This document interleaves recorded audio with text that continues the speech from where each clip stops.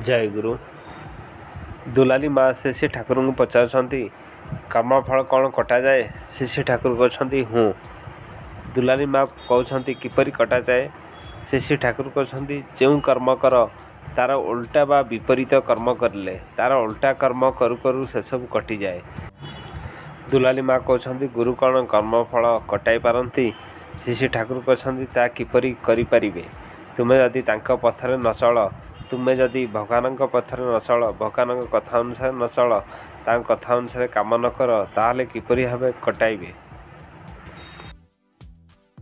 সত্যানুসরণ থেকে পাঠ ক্ষমা ও সহিষ্ণুতা ক্ষমা করো কিন্তু অন্তরের সহিত ভিতর গরম রেখে অপারগতবশত ক্ষমাশীল হতে যেও না ক্ষমা করো কিন্তু ক্ষতি করো না বিচারের ভার শাস্তির ভার আপন হাতে নিতে যেও না।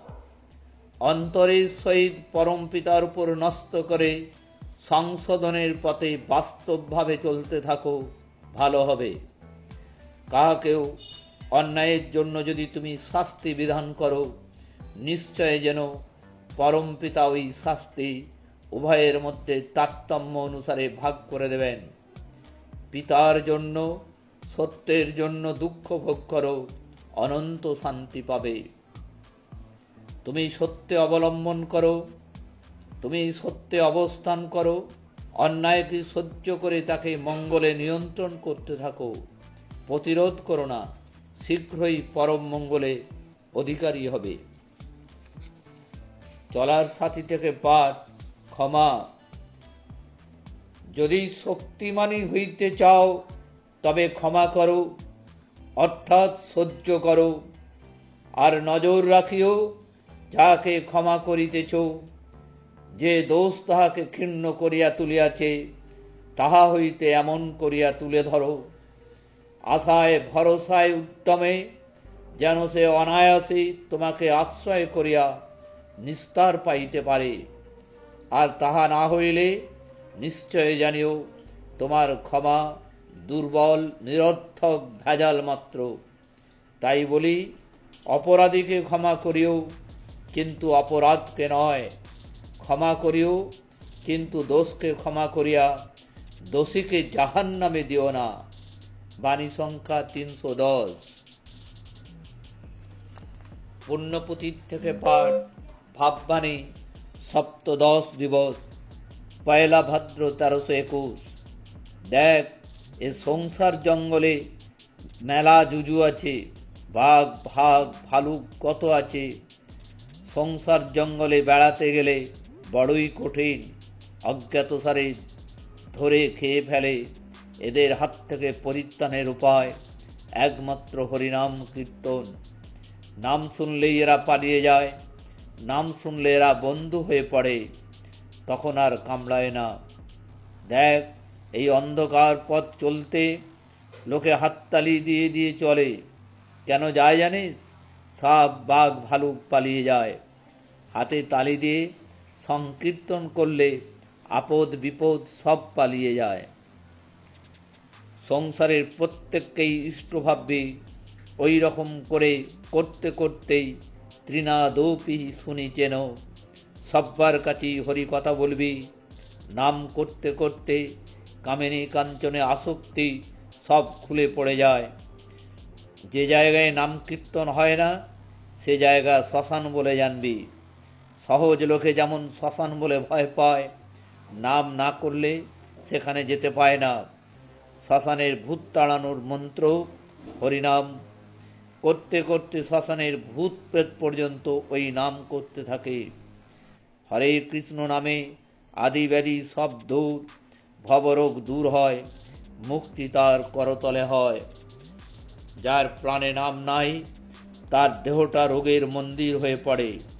তার সংসর্গে যারা আসে, তারাও রোগা হয়ে পড়ে। যারা বোঝে সোজে, যাদের জ্ঞান আছে, অথচ সংসার মধ্যে মত্ত হয়ে থাকে, তাদের বেশি পাপ অজ্ঞানের চেয়ে। তারা মুখে বলে, আমার নয়, কিন্তু সবেই আমার আমার। তারা নরকে ডুবায়।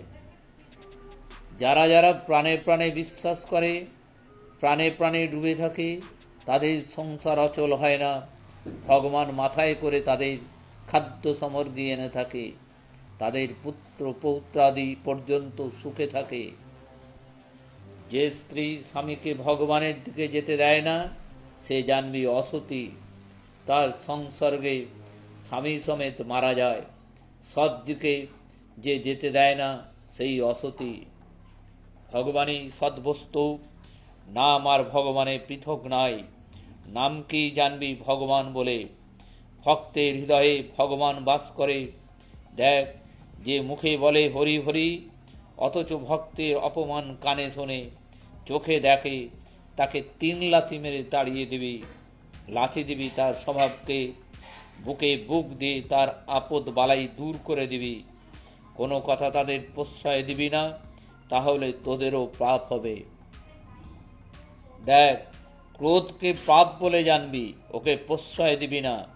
সহ্য করবি, প্রাণ খুলে সহ্য করবি সমস্ত, সহ্য করার চেয়ে আর গুণ নাই। দেখ, সংসারে থাকতে হলে মাঝে মাঝে ফোঁস করার দরকার। রামকৃষ্ণ ঠাকুরের কথা মনে আছে? যে ফোঁস করবি, সে নিজের জন্য নয়।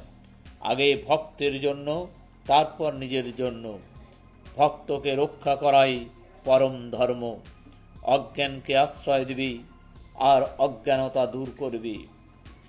সংসারে প্রত্যেক কাজেই ভগবানকে মেখে রাখবি, প্রচণ্ড বেগে কীর্তন করবি, কাজ করবি।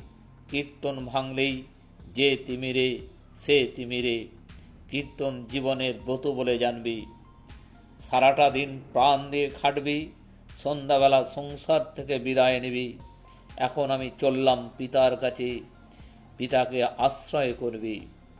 ঘুমটা খুব কম করার দরকার, চার ঘণ্টা ঘুমি যথেষ্ট। বিদ্যুৎ বেগে কাজ করবি, আলসে হয়ে বসে থাকিস না, আলসে হয়ে বসে থেকে হরিনামের কলঙ্ক করিস না। একবার হরিনাম করলেই জীবনের যত শক্তি বৃদ্ধি হয়। সকল সময় ভাববি, আমি যন্ত্র, ভগবান যন্ত্রী, তাহলে পাপ স্পর্শ করতে পারে না। কামকে প্রশ্রয় না দেওয়াই ভালো। কুকুরকে এক মুঠো ভাত দিয়ে বেতিয়ে দেওয়া যায়, খুব পালায়, আবার আদর করলেই আসে। হরিনাম করলে রিপুগণ আপনিই পালায়, আবার প্রশ্রয় দিলে আপনিই আসে। রোগ ও রিপুকে সমূলে ধ্বংস না করলে ধ্বংস পায় না। আবার সময় পেলে জেগে ওঠে। জয় গুরু।